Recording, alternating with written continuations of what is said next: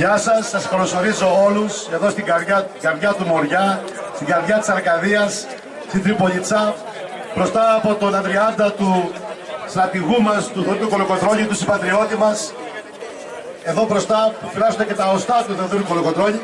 Σας συγχαίρω για την πρωτοβουλία αυτή, για το τόλμημα αυτό, γιατί είναι πραγματικά μεγάλο τόλμημα να διατρέξετε τόσα χιλιόμετρα, αλλά με τη συμβολικό χαρακτήρα να ενώσετε τέσσερα διαφορετικά σημεία.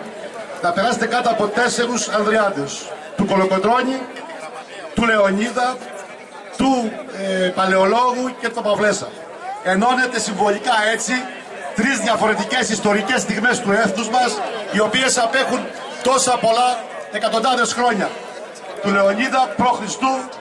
μετά του Ομπιουστράς με τον Παλαιολόγο και μετά ο Κολοκοτρώνη και του Παυλέσα.